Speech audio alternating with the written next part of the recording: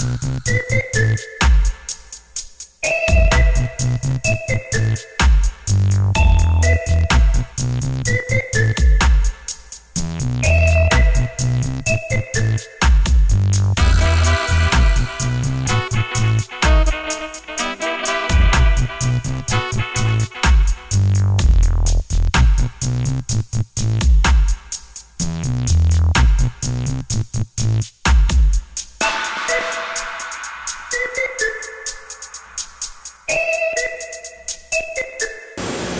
Welcome back, tubers, growers, smokers.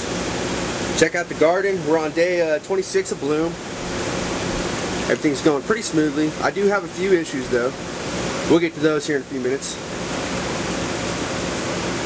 Get a load of these buds. There's the Blue Dream Cross. Looking as pretty as ever.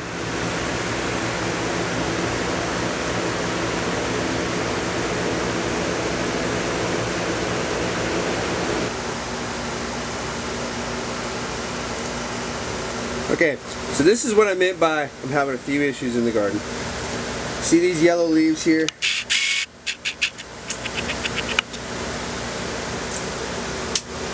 Started in.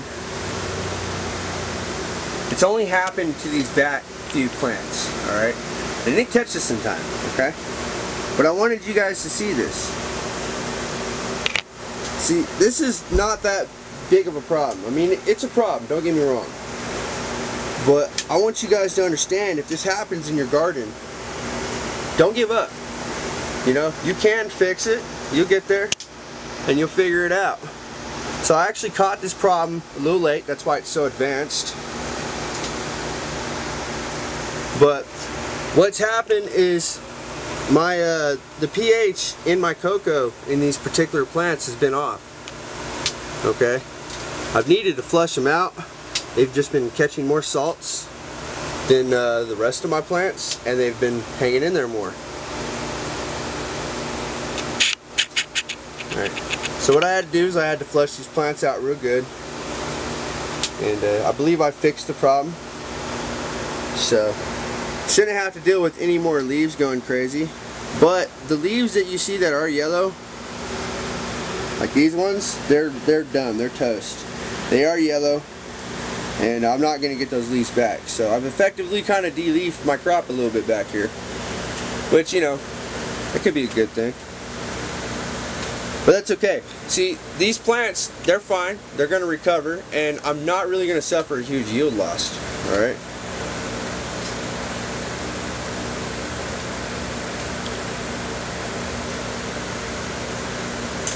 Now, of course, we want to see this in the past, uh, in the last few weeks of flower. But we're only on day 26, so that means these plants are three weeks old in five days. They're in their, they're in their fourth week.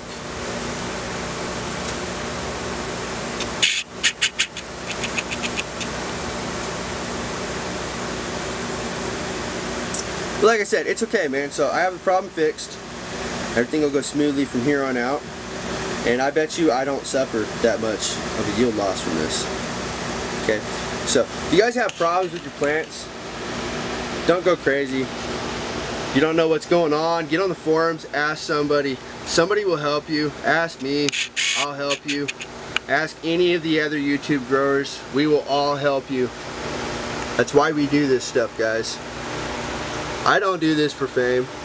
I hope the other guys don't do it for fame. I do this to help people. This started as a video journal for myself a while back and it's just turned into something so much better. I've helped a lot of people in their gardens and I hope to help a lot more people.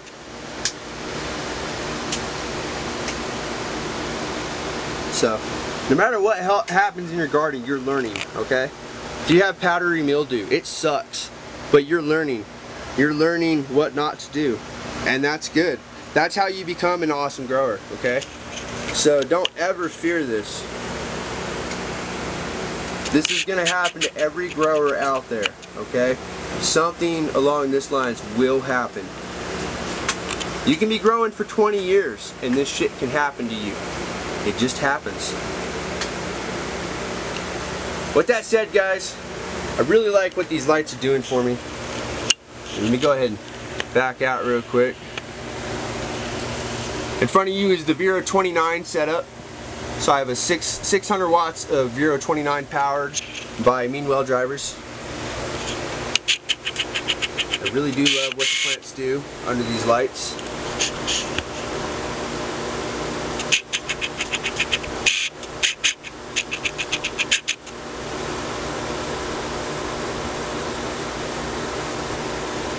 Mars Hydros ain't doing too bad. That's what the purple is that you see in here. And over here.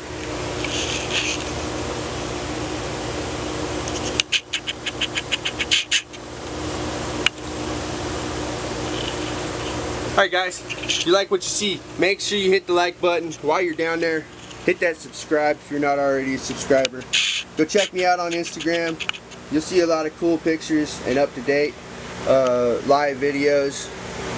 Most of my videos are two weeks out. Alright, so you guys won't even see this for another week or two.